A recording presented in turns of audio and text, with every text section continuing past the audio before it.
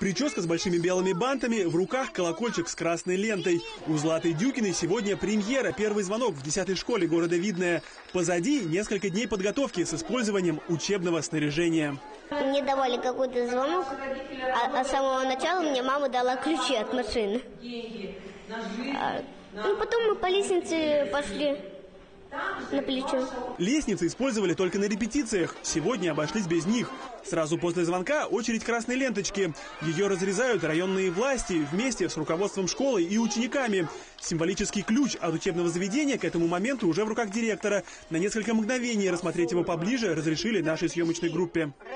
Вот он, ключ от новой школы. На ощупь э, весит примерно как две плитки шоколада. По словам директора, после открытия будет храниться в ее кабинете на видном месте. Видное место для самой школы в новом микрорайоне было выбрано несколько лет назад.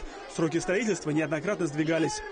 Первоначально еще года два назад планировалось открытие этой школы, но затем э, строительство было приостановлено. Но когда проблема была решена, школу открыли. Открыли в срок намеченный. К намеченному сроку новостройки вокруг школы почти полностью заселили. Кто-то из учеников недавно жил в Нижнем Новгороде, кто-то приехал из-за океана. Говорят, там подход к учебе совсем другой. У нас это, конечно, э, все более централизованно происходит, все на более как бы, высоком уровне. В Америке э, немного другая система образования в том плане, что она более свободная. То есть э, там свободный выбор предметов, свободная форма. Но в целом это свободная страна, и поскольку, поэтому именно воспитание, обучение детей происходит в более свободной форме.